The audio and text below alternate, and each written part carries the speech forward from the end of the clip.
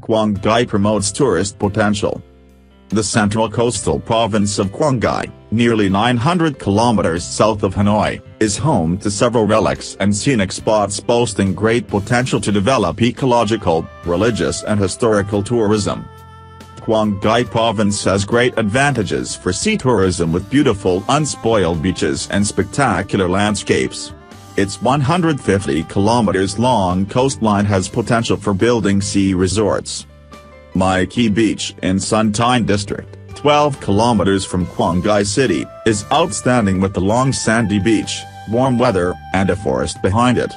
Many beautiful hotels have been built along the beach enabling tourists to enjoy pure air from the sea and relieve tiredness.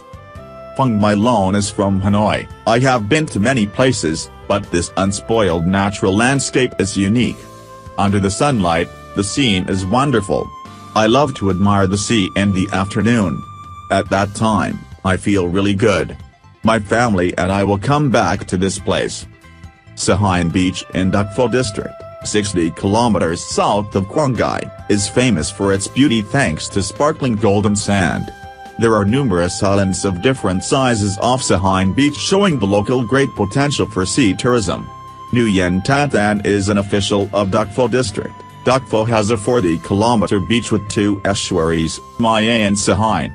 The district also has a mountain range running to the sea, which has underground rocks. These create beautiful landscapes and rich marine resources. The district will exploit these scenic spots to develop tourism and the local marine economy. Trang, Wai, waterfall in Minh Long district is one of the most famous destinations in Quang Ngai.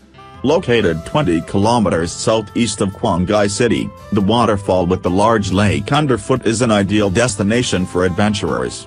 In recent years, the waterfall has attracted a lot of tourists. Dinh Thi Hoa is an official of Minh Long district. In previous years, the waterfall was quiet. It's a beautiful waterfall. We have invested in upgrading the infrastructure to attract tourists. With its unspoiled nature and numerous relics and scenic spots, Quang Ngai has focused on upgrading its tourism infrastructure to attract more visitors.